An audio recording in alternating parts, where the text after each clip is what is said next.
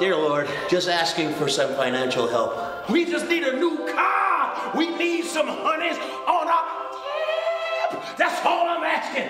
Hallelujah. Jerome and Tyrone are down and out janitors. So what's your name? Hallie. Hallie, like Halle Berry? Well, hallelujah, you should come and get a ride. Now, they just found a way out. Okay. What's your name? I don't know. I don't know. But the cash belonged to the mob. Where's my money? And now they want it back.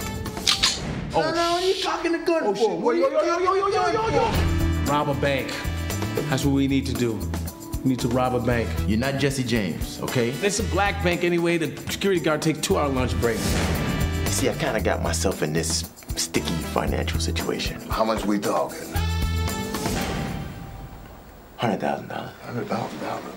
Yeah. spend it all. Yeah. What do you spend it on? On bitches. Bitches? Broads. Dames. What up?